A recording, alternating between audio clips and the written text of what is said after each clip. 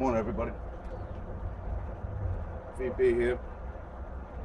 Don't mind me, I just got done working out. Got an awesome sweat going. Did a 20 minute uh, circuit training. We'll get, we'll get to that someday. Listen, just want to show you guys and girls the clean today. It's good exercise. It helps you get to the rack position. And once you get into the rack position, you can just about do anything. You do your cleans, you know, it's a lot of poles, and you know, it's, it's just a good position to get to. Now, mainly, when you want to do the clean, I'm going to show you without any kettlebells at first. When you want to do the clean, you want to get your hips back. Just kick your hips out. You come down a little bit of a squat position. Have your thumb facing backwards and the top of your hand facing out. You don't want to be like this, like this, like this. You want to be like this. From this position, you explode from the hips. Don't use your back. If you start getting back problems, then you're doing it wrong. explode from your hips and kick out. When you get to this position, this is the rack position. Once you're in this position, your hand should be straight. Elbow tucked into your side. I don't want to see people with their elbows out like this and their hand like this. You're going to get hurt. So from this position, you explode from the hips, you come right up, just like that. That's the rack, the clean. This is the rack. Now from here you can do presses. You know, it's, it's really great. Let me show you with the kettlebell now.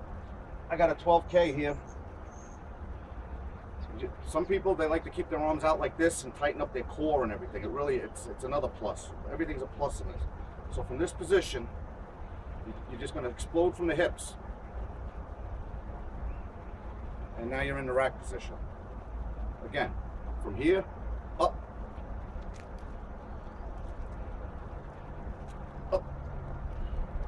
Now, as you come up, you want to take your hand and bring the kettlebell around like this. It should slap into your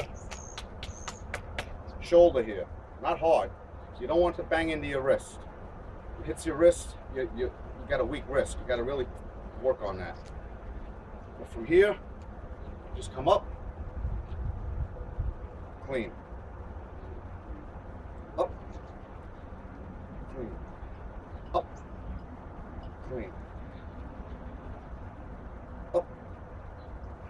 Elbows in, pointing down to the ground. Wrist is straight.